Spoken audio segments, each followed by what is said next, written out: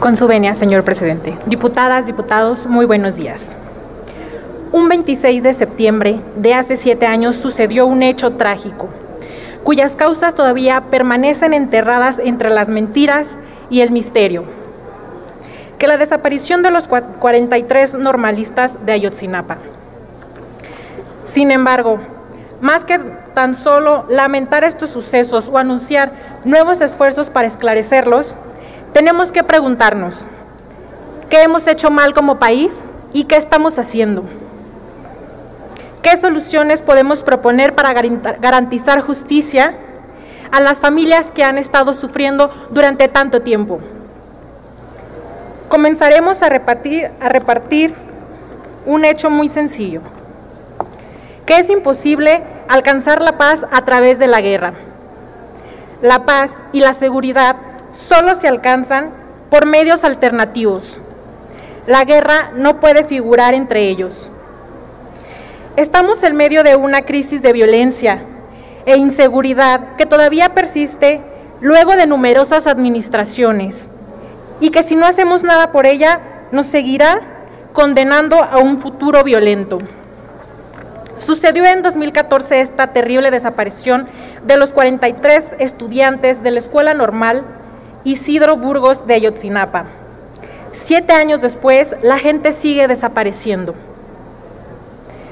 Tan solo en el año 2020 se registraron 4.900 personas desaparecidas y esto tan solo son los casos que sí han sido denunciados. Si ni con todo el aparato del Estado, la presión internacional y la atención de la prensa, ni sin hablar de las redes sociales, no hemos podido todavía encontrar a los 43 desaparecidos. ¿Qué será de todos los demás y las demás y miles y miles de personas desaparecidas?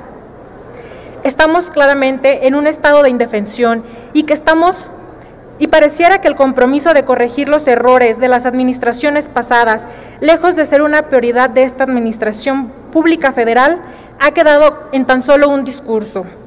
Por si esto fuera poco, todo parece indicar que la estrategia del gobierno justamente radica en traer más armas, más militares y más guerra, más violencia a este país.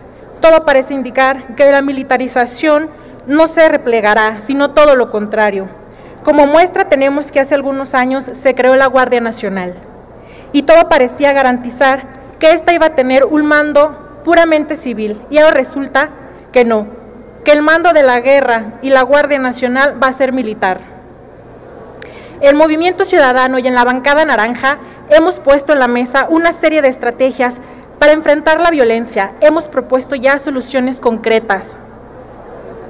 Desde escuchar a las víctimas y honrar su lucha, admitir que el mismo Estado ha causado violencia y en consecuencia establecer comisiones de la verdad junto a organismos internacionales, mandar a los militares de regreso a los cuarteles de manera paulatina y fortalecer las policías locales, locales, establecer fiscalías plenamente autónomas y que no estén al servicio personal de unos pocos y de solo unos cuantos, erradicar la violencia contra la mujer. Y una vez atendido esto, podemos proceder a atacar las causas de raíz de la violencia, terminar con la marginidad, que es un caldo de cultivo en la violencia y que ha aumentado en millones durante esta administración y que el mismo gobierno federal no se limite a decirnos que no nos pongamos a pelear mientras él se pelea con todos, sino que busca la reconciliación, que adopte cultura de la paz, de igualdad, de respeto, de solidaridad y que transmita estos valores a todas y a todos y cada uno de los mexicanos.